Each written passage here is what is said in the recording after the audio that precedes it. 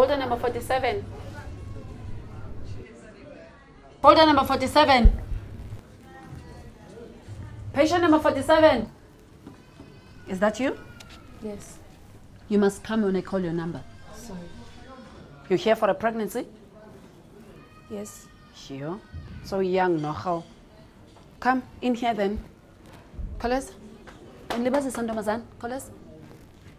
So, how can she be shouting like that? Her name isn't 47. It's Pelokazi. She forgotten one important thing. Patients are people. They get shy, they get embarrassed, they get scared. This girl might be too scared to even listen to the sister. Maybe she'll be too scared to even come back again. You need to introduce yourself, speak kindly to the patient, and keep their confidence. Imagine the situation as if you were in their shoes and always be professional. Our sisters could have done a much better job in the same amount of time.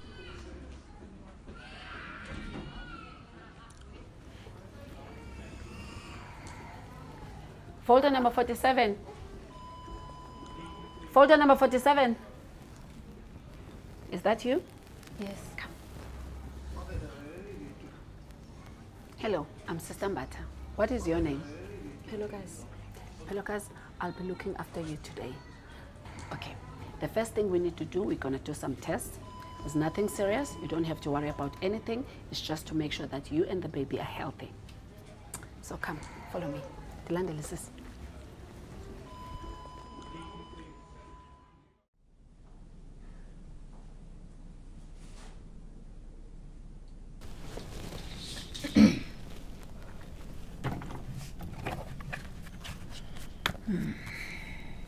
Age? 20. Do you smoke? No. Drink? Sometimes. How long since you're in your last period? I'm not really sure. Uh, November? Was it planned, the pregnancy? No. Are there any illnesses that run in your family? No. Okay, wait here. I need to go fetch something.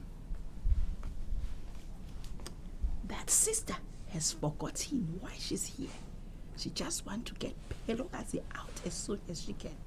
She shown no interest. Mm. Communicating with patient is not just what our mouth said, but also what our bodies say.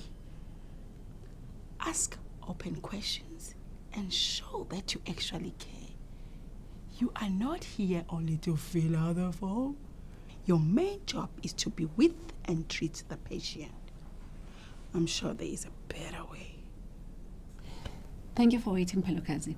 The first thing we have to do now is to take a history so that we can find more information on how to help you on your circumstances and find out how we can help with your pregnancy. Is that all right with you? Yes. Okay. Now tell me, how old are you? I'm 20. Tell me something. How do you feel about being pregnant for the first time? I feel quite nervous, actually. A bit scared. You know what? Every woman who's pregnant for the first time, they are afraid. This is normal. What is worrying you? I don't know how I'm going to afford this baby. I think about it so much, I can't even sleep. Well, that sounds like too much to worry about. Money and all of that. But do you know there are child support grants to help mothers? Okay, wait. Here. This will give you all the information for when you need to go to the SASSA offices. Do you think it will help to tell someone else? Mm, yes, maybe my cousin. I think she was able to get maintenance from her boyfriend to pay for her baby. Okay, so I think that will help a lot. So, do you see it helps to tell someone else your problems? Mm. Okay, you know what? Now there are a few questions, and then we're gonna do a physical examination. I'm quickly gonna go and fetch something, and then I'll be back quickly. Thank you, sister. Okay.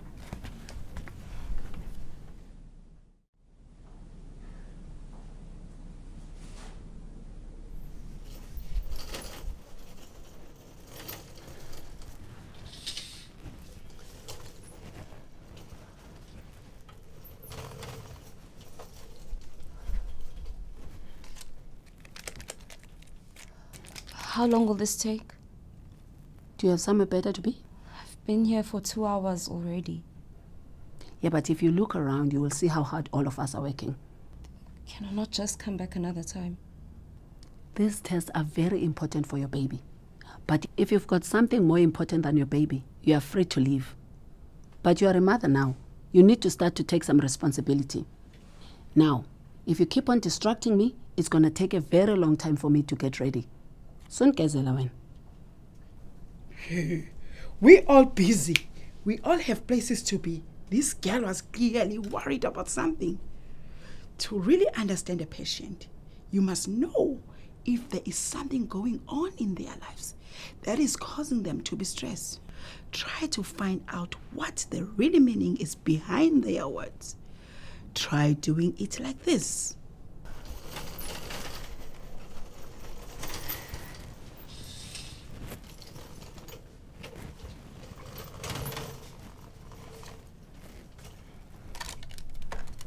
How long will this take?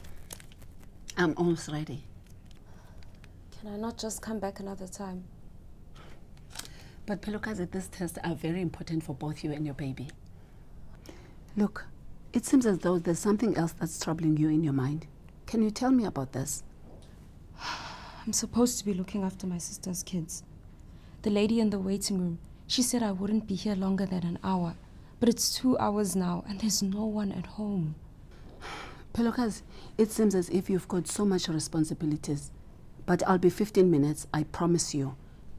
If you don't do this now, you're going to have to come back and sit in the line all over again. I promise I will get you out of here as soon as I can. Thank you.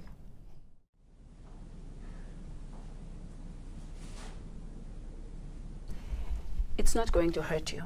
I really don't like them. If you think this is bad, how are you going to cope with giving birth? I'm scared. I'm sorry. Mamela san, the quicker the better. There are people waiting. If this is how you take blood, you likely poke a patient's eye boom out. If patients tell you their feelings, they are afraid, anxious, concerned, or if you can see their feelings from their body language, you must show that you are listening and you care. You must be like a mirror and reflect their feelings. Let's see that another way.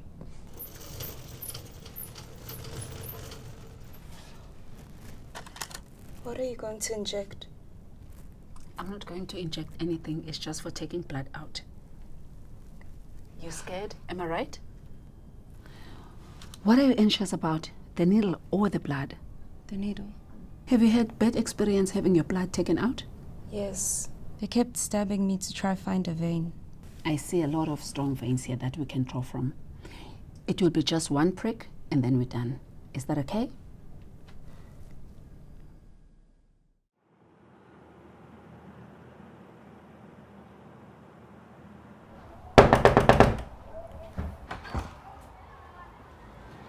Pelogas, Yes? the clinic tells me you've missed your checkup visit. Why didn't you go? Can you please come another time? Sissy, this is the time you said you're available. Sis, this place looks like a mess. This is no living condition for a child. I mean, if you're gonna leave dishes lying around, your baby will get sick. So why didn't you go to the clinic, huh? No, no, you must start taking responsibility. And next time when I come here, I want to see a tidy house. And I'm gonna check with the clinic if you've gone for a checkup. Oh, poor girl. Look how ashamed she feels. Useless. Next time the health worker comes, she won't even open the door. Maybe she won't even go to the clinic.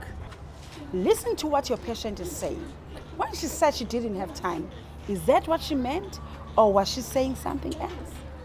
Use your words carefully to rephrase the response so you can better understand the problem. It might not be what it seems. Hello. Hi. My name is Humbi. Um, the clinic sent me. They've told me that you've missed your follow-up visit. Um, I'm just here to check if everything is all right. Can you please come back another time? You would like me to come back a different time. Is there something wrong? There's nothing wrong. I've just been so busy and, and rushing around, and there's so much stuff to get done. You sound like you are very stressed. Is that right? Yes. My two nephews need so much stuff for school. The electricity keeps getting cut off. I'm exhausted. I didn't know that pregnancy would feel like this. How am I going to manage when the baby comes? It sounds like you have a lot of worries with managing the household and being tired. Well, it's important for us to do these follow up visits to make sure that you and the baby are healthy. Maybe we can also talk about your stress and maybe we both can think about ways to bring it down. I'll go to the clinic this week. If you will come back next week, I'd like to try and find a solution. Good. I'll see you then.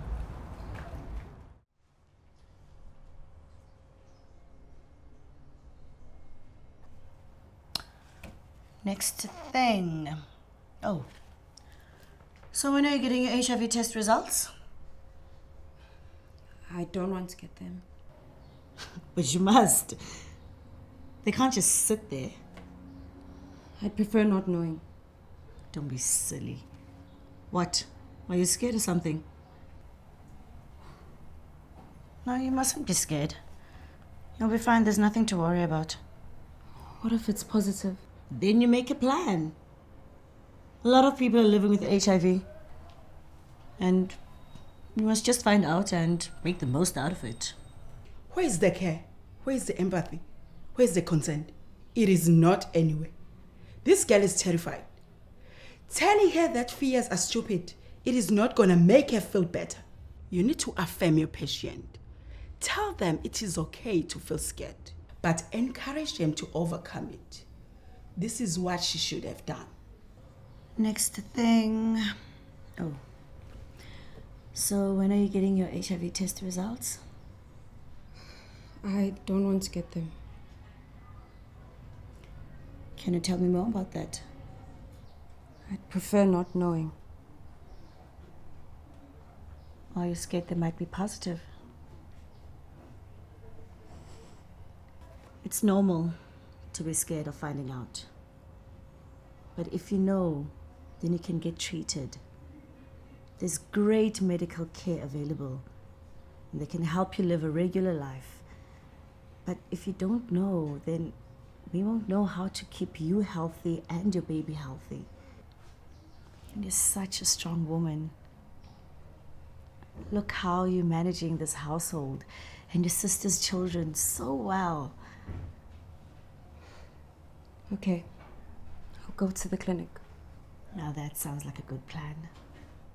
And after that, we can get your results and we can find ways of keeping you strong if you're positive or negative. That will be helpful. Thanks.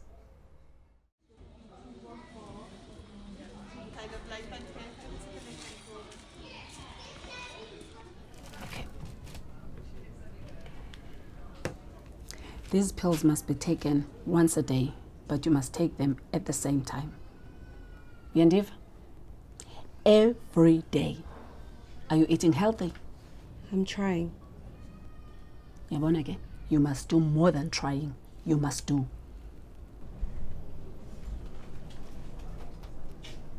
The sister seems more like a policeman than a health worker. How can Pilogas remember everything? How can she listen to the advice when she's made to feel so small?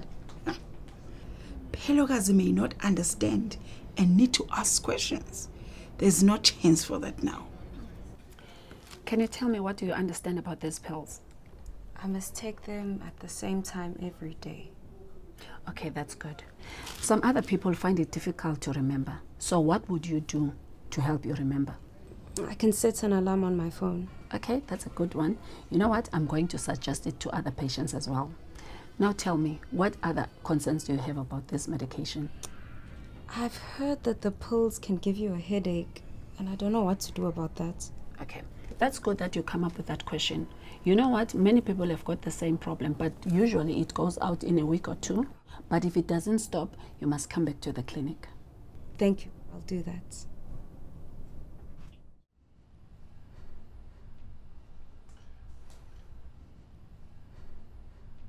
Come, come, come. You need to get dressed and stop being so lazy. I'm trying.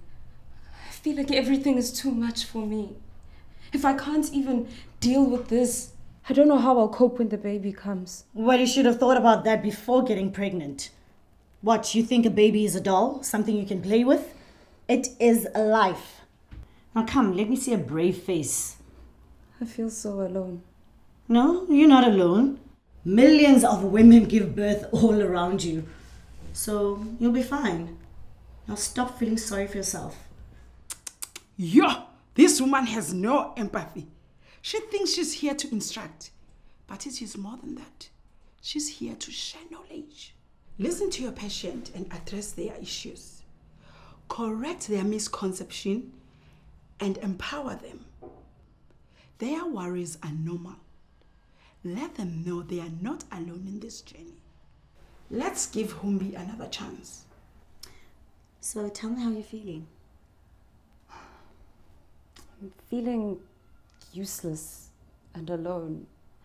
I have pains all over my body. I can't sleep at night because I keep worrying about everything. I keep on thinking about all the things that could go wrong, and it keeps me up at night. I feel lazy and like a failure, like I will be a terrible mother. Pelokazi, what you're feeling is very difficult to deal with, but it's very common with pregnant mothers. A lot of women have these thoughts. Illnesses that affect our bodies are very easy to see, but illnesses that affect our mind state, depression or anxiety, they can make it difficult for you to do ordinary things or being around people. But they don't necessarily mean you're lazy or you're going to be a bad mother. Now, what would help you is to find a counselor who can explain your feelings. Yes, it would be good to speak to someone who can understand me. Now, the other people who have experienced what you are feeling, can I put you in touch with someone who can maybe help you with ways of coping? Definitely. I need to find out ways of dealing with this. I'm glad to hear that. These are the empathic engagement skills. Setting the scene, communication, verbal and non verbal, explore life events, reflect feelings, rephrase and summarize, affirm, support, normalize, get feedback, share knowledge. Now that you have seen the different empathic engagement skills, let's watch Humbi use all the skills together.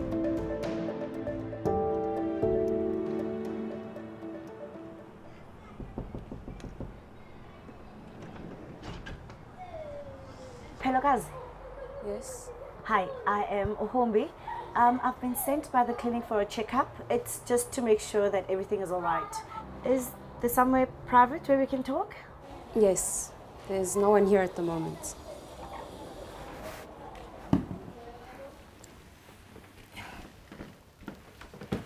So, tell me how you're feeling about your pregnancy.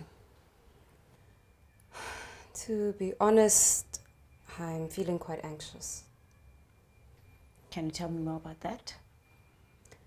I don't think I'm ready to have this baby. I keep thinking of all the things that could go wrong and it keeps me up at night. I'm scared my baby won't have enough to eat and that I won't be able to do anything about it. Has anything specific happened that caused you to worry about money? I was working three times a week at the mm-hmm. shop in town, but they said they had to let me go and I haven't been able to find any work. Mm-hmm. I went for a job interview, but when they see that I'm pregnant, they don't want to hire me. Sounds like you're feeling very stressed. Is that right? Yes, I don't want my baby to go hungry, but there's nothing I can do. It seems like you really care about your baby, but also you worried that you might not have enough to provide for it, and that's preventing you from sleeping. Yes. But I think you should be very proud of yourself for staying so strong until now. Now, I think you should go back to the clinic so that you and your baby can stay healthy. There's actually a mother I know that felt just like you. And I think maybe talking to her might help you, but that's if you feel like you can do it. Don't know when though. I feel so lazy always. Remember, being exhausted from not getting enough sleep is not the same as being lazy. Now, I think you should go back to the clinic and maybe tell the sister that you're having problems with sleeping. Maybe she can help you. I'd really like that. I'll go tomorrow morning to see her. I'm glad to hear it. Now, I'll come back again next week and I'll check how you're doing.